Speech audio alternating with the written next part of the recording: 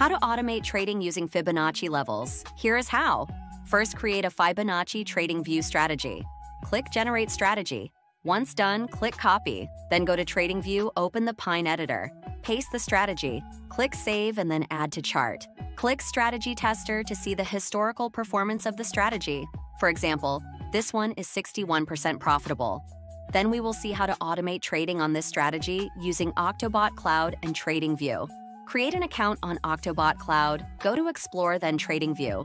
Click Start My Bot. When the bot is started, click Create an Automation, give it a name, fill your symbol, and click Create. Then click Automate with Email to be able to automate your trading with a free TradingView account.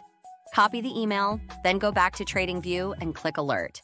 Go the Notifications tab, then click Send Plain Text to be able to automate your trading with a free TradingView account. Then paste your email if you don't have configured it yet. Go to Settings tab, select Fibonacci Strategy as condition to bind the alert to the strategy.